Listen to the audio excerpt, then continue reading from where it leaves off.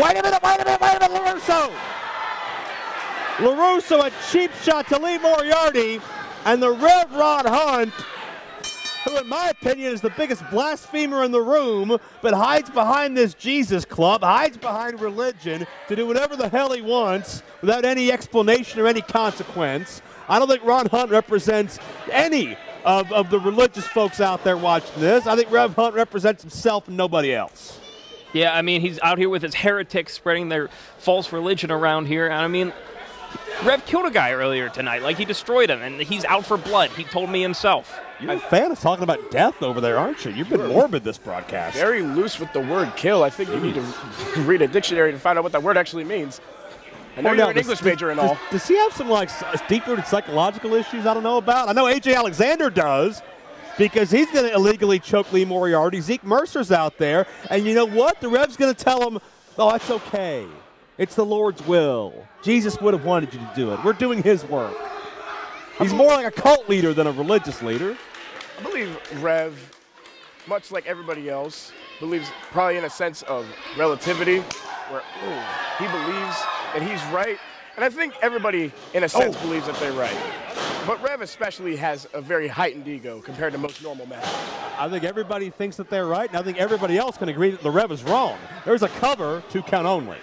I mean, in Rev's mind, he probably think that Lee's going to get blessed by letting Rev get go over on him, but like that's not the case here. Lee wants this pit fight belt more than anybody. He got over on one of his most arch ne- nemesises, LaRusso. Easy there inside baseball. Rev Ron Hunt. Now, uh, uh, again, you can't force somebody to support you. You can't force somebody to cheer in your favor. Not with that. is he yelling at? He's yelling. He's yelling at he's yelling at Bruiser. Bruiser. What did Bruiser do? Now he's sad. Cornell, go hug him. I'll stay right here. Comfortable right where I am. But Moriarty looking very uncomfortable. A neck breaker. Look Cornell learning segues. There's a cover, two count only. Lee gets up. Now, Lee has, has brought a lot of energy and excitement into this matchup, gentlemen. The Rev has brought a lot of manipulation and selfishness. We have uh, uh, the yin and the yang in this ring, and we have a championship shot in the balance. It's going to come down to these two, gentlemen. The only thing that I'm really worried about is the two guys outside the ring. I hope they don't get involved in this matchup in any way. Well, they already have. You've watched wrestling before. You know exactly what's going to happen. We've watched wrestling before. I hope so. I mean, we put on a whole wrestling show. That's a good point. Well, Rev. Textbook suplex. Rev's watched a thing or two in his day. He's picked up a lot from uh, from his watchings, and he's used it to his advantage.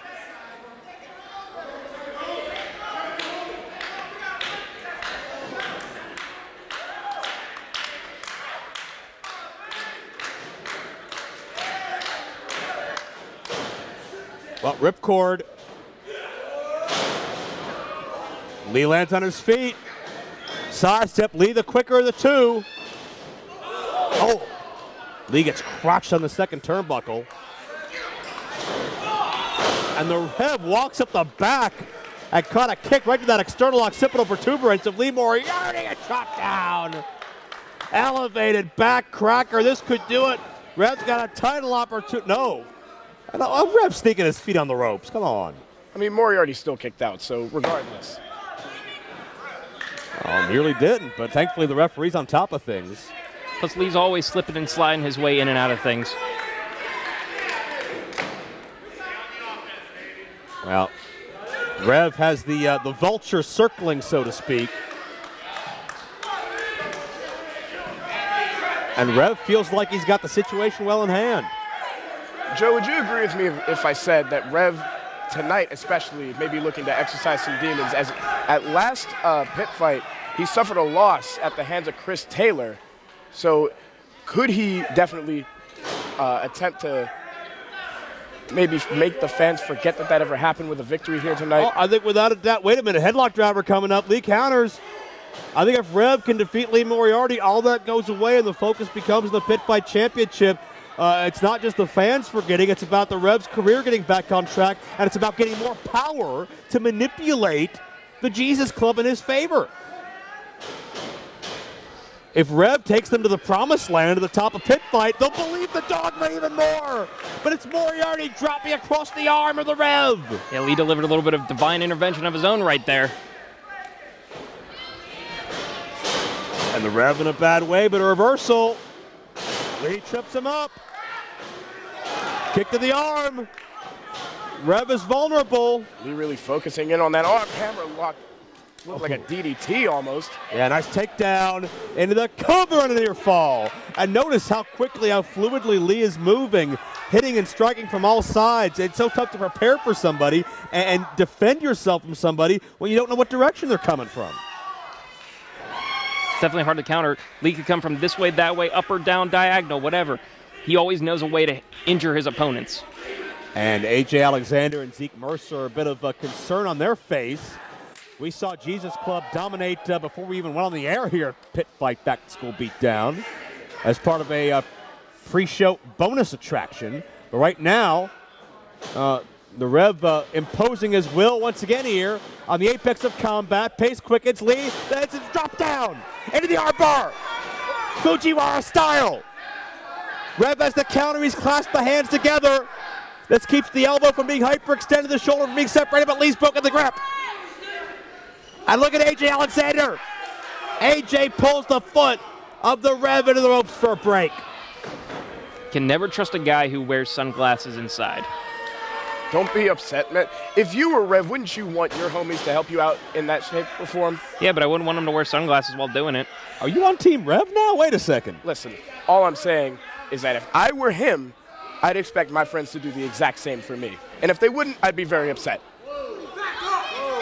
And AJ, well, I don't know if you were the Rev, how you could be proud of, uh, of a victory like that, especially with what you espouse at all. Rev with a flip pile driver. That'll do it. Rev, no! Rev in awe of the Lee kicking out of that move right there. I think Rev channeled some kind of divine spirit to pull that one off. But Lee Moriarty rises from the dead to escape. I don't know. Rev might need to channel some demons if he thinks he's going to put Lee down that easy. Well, Rev as the official, and here's poor little Zeke Mercer, who's been manipulated into joining this group. Wait a minute. Oh, look at Lee! Uppercut, down goes Zeke. And now, wait a minute. AJ just passed the Rev. Uh, is that that face mask he wore out here? I believe that's the mask, yeah. Lee ducks out of the way. Misses wildly, connects with a boot straight to AJ. Oh, AJ hit with a hard thud.